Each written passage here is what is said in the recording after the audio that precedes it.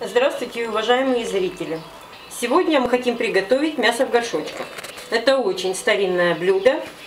Его готовили наши дедушки, бабушки, прабабушки. Сейчас мы вам покажем, что для этого нужно. Так как у нас идет два горшочка, мы хотим приготовить. И, соответственно, будет очень мало ингредиентов. На каждый горшочек нужно положить по 100 грамм мяса. Можно взять любое. Свинину, говядину, куриное, кому как больше понравится. Мы берем свинину.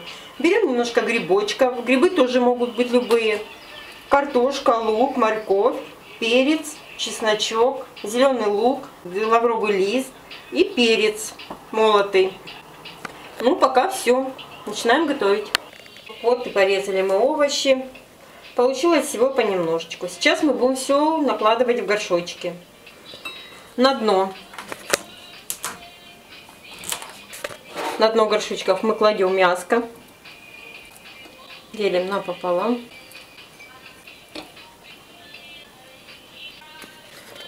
Чтобы получилось приблизительно одинаково. Немножко берем соли, подсаливаем мяско, сыпем туда по чуть-чуть перчика. Кто любит поострее, можно побольше. Потом у нас идет лук репчатый. Сыпем. Сыпаем горшочки. Следующая у нас идет морковка.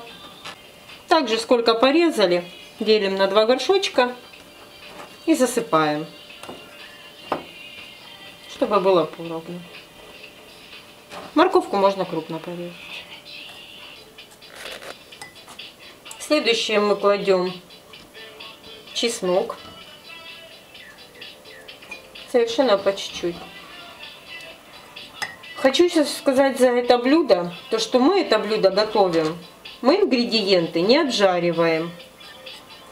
Ни морковку с луком, ни мясо. Кладем мы болгарский перчик. Все ингредиенты мы кладем сырыми, потому что блюдо получается полезным. Положили болгарский перец, потом мы кладем грибы.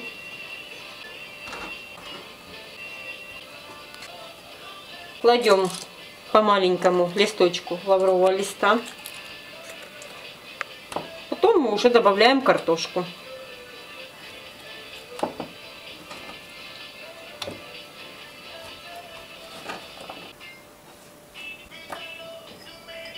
Теперь можно еще немножечко подсолить.